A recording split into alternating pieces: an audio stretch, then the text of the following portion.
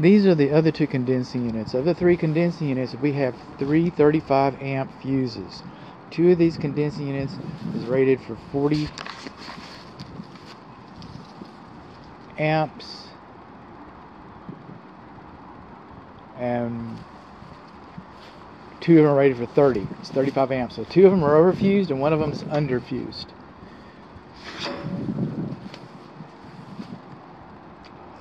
We're over here on the north side of the garage. This is the gas piping coming into the house. I don't see a bond on this. This pipe, it's, it's, it's been wrapped. It'd be better if it was painted. It's been wrapped. I don't see a main disconnect for that guy. Coming over here, this is a gas meter out in the yard.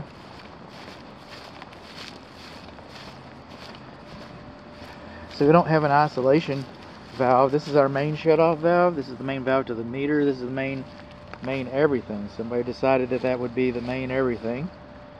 Get a picture of the data plate here because I like to do that.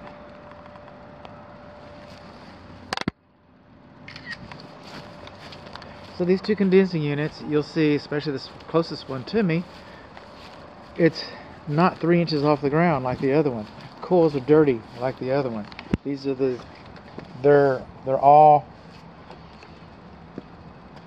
Let's see, three tons.